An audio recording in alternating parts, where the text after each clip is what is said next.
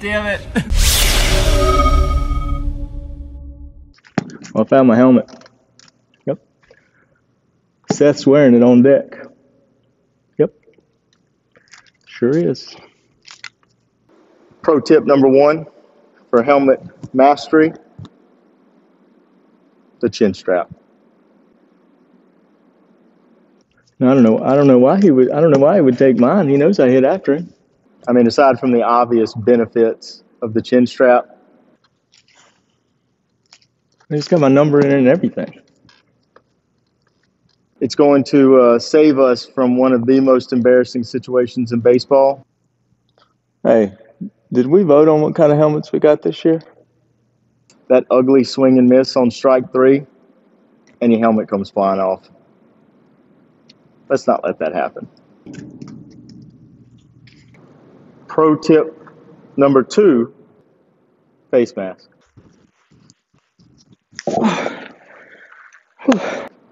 I mean, when you can step in the box and you can tell him, hit me in the face, I'm ready.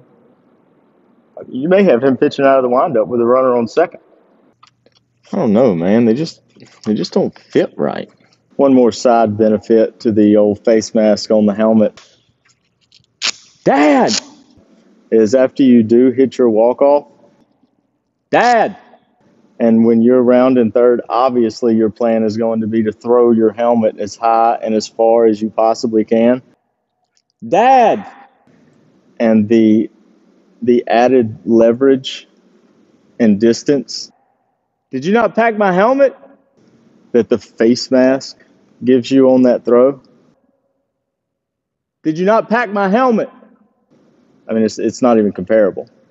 Well, I don't know. It's not in my bag. Pro tip number three for helmet mastery that we take our hat and we wear it backwards underneath our helmet.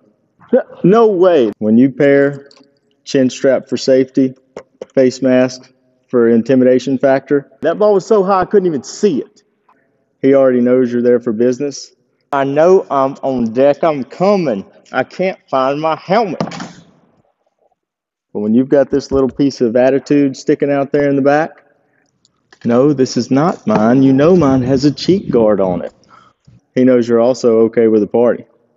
So he better not make a mistake. I I would have beat that out if I would have had my helmet.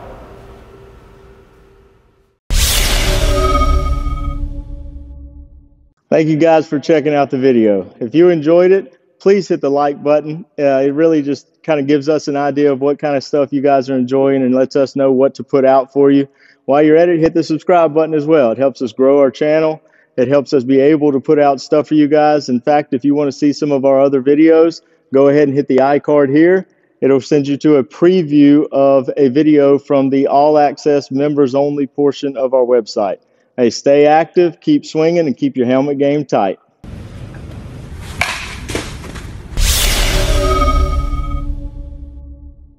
I'm going to now start showing how our weight shift is involved with the release of the bat. We just simply need to understand exactly where we want to be in our weight shift. So we're going to get a lot more specific. We're going to be talking about the timing of getting the back pocket in front of the tee at the same time we're hitting the ball. But the first thing we need to do, guys, is we need to rep this out and make sure that we can definitely get the weight transfer that we need. So we're going to put our arms across our chest.